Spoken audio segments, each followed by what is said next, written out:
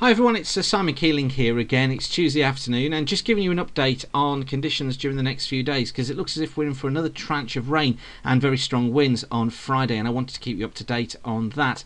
Um, here's how things look today. We've got this nice ridge of high pressure in look. It's uh, bringing some lovely spells of sunshine across the country at the moment. This front though out towards the west is going to be edging in. These charts by the way are from weatheronline.co.uk. Here it comes look, in comes the front during the course of tonight and then it weakens as it reaches the country and just dissipates across the whole of the country during the course of Wednesday. Some patchy outbreaks of rain, some showers may make it through, but really very, very few. Reason this is dissipating is that the upper trough associated with it is stuck out here. It's way, way, way out to the uh, to the west, and so it means this cold front just doesn't have any energy left in it. It's just dying away.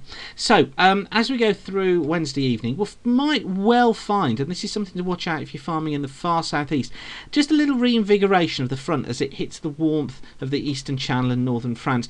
Could just clip uh, coasts of Kent and eastern Sussex during the evening. One to watch out for there. And look, it just clips again into the coasts of Suffolk and then Norfolk overnight into the uh, into about daybreak on Thursday before clearing into the sea. So within this sort of area, just keep your eye out. You could get um, a dose of rainfall, perhaps five to ten mil, unexpectedly from that feature.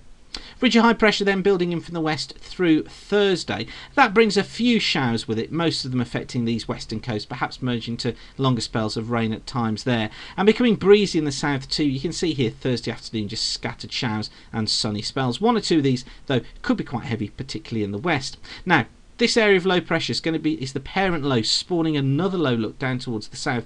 Watch what happens as we get in towards Friday. Here it comes, deepening, heavy periods of rain moving in during the course of Friday afternoon, right the way across Ireland, Wales, southwest and central parts of England, and then uh, it passes its way northwards overnight. Then it's the turn of the rest of Ireland, northern England, the Midlands, eastern England to be seeing some heavy rain, and then it clears out to the North Sea on Saturday with heavy rain for Ireland and parts of northern England by then. Showers coming across the south, but look how close together the isobars are. Really windy conditions coming through as we turn and settled in towards Saturday. This rain persisting into Saturday night across Scotland.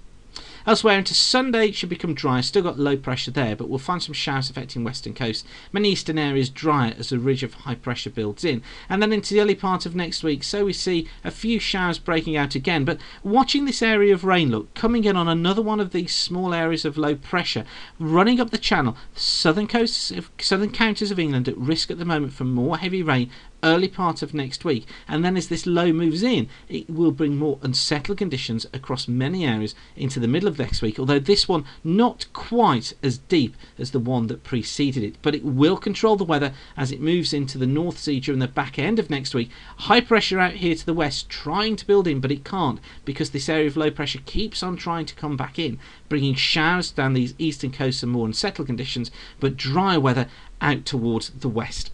Okay, hope that's been useful for you. Friday is uh, Friday into Saturday, definitely the days to watch, and uh, keep the sun shining. I'll see you soon.